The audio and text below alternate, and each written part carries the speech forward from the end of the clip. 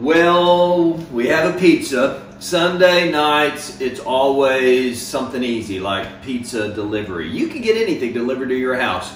For years, it was only a letter in the mail, but now Publix will bring, bring groceries. You can get an amazing pizza. Amazon delivers our whole life right to our front door. How would you feel if someone delivered to you a letter from the Apostle Paul?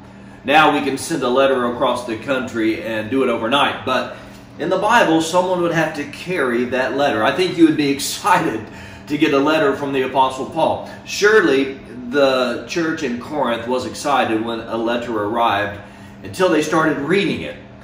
Paul sent them a very difficult letter. In fact, he, he says in chapter 7 and verse 8, he says, I caused you sorrow by my letter. And the reason he caused them sorrow was because there were things he had to address.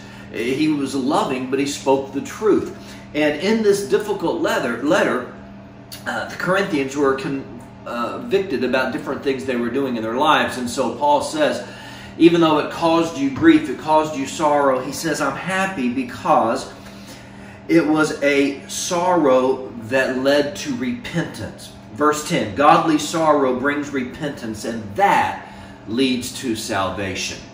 That's why you can't always just tell people what they want to hear. You have to speak truth and address issues that perhaps they, they need to hear. Last Sunday, after I preached my sermon, someone in the church walked up to me. We both had on our masks. And he said, You've been preaching some hard sermons lately. And I said, I'm sorry? He said, Don't apologize. Uh, it's exactly what I've needed. Sometimes you need to speak to people a difficult word, and if it causes them sorrow, maybe it is a sorrow that will lead to repentance and, and thus salvation. So, so that's what he's talking about in this letter. But he talks about another uh, grief, and it just stood out to me when I was reading it uh, today. In verse in, in verse six, he says, God who comforts the downcast comforted us by the coming of Titus. So, this is a different kind of sorrow. Uh, one translation says, the New American Standard says, God who comforts the depressed. But how did he say he was comforted? He said, by the coming of Titus.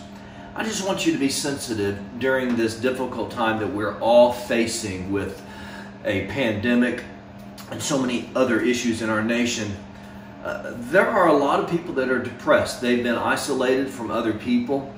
And when a person is depressed, there's a lot of things that go into it, and I and I understand that. But one of the most comforting things is simply the presence of another believer. So maybe there's someone you haven't talked to lately, and you're just not sure how they're doing. A phone call, a text message, if you could visit with them in a socially distant way, just as it was for the Apostle Paul, who wrote 13 books in the New Testament, he needed to be encouraged, even a godly man like him. And he said, God comforted me when I was downcast through Titus. Be a Titus for someone today.